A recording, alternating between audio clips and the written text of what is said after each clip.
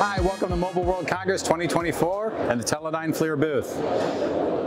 The Teledyne FLIR booth this year is showcasing various Thermal by FLIR products. If, if you don't recall, the Thermal by FLIR program is a program that we offer for select companies that integrate our sensors into their products that help us open up new markets and new applications that people haven't seen yet. So let's get started.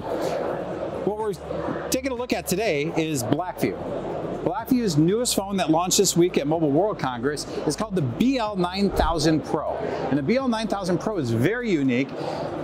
More information will come about mid-March, but we wanted to give you a little sneak peek of some of the advanced feature sets. The BL9000 is Blackview's first Lepton 3.5 imaging camera, which is the highest resolution Lepton available on the market today, as well as the only Lepton 3.5 MyFLIR Pro application software that's running on a 5G platform.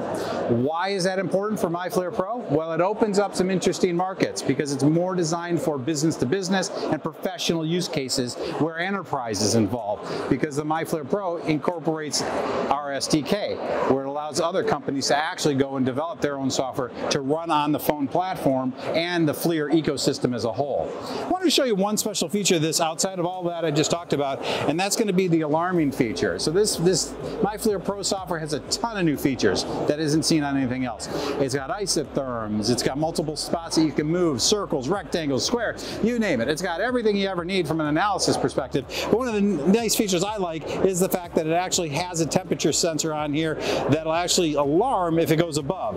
So if I take this phone, I can set it up to give me values between say 40 degree and 35, and when it exceeds that, turn it up, I can actually have it send me a text, a push notification that it exceeded that temperature.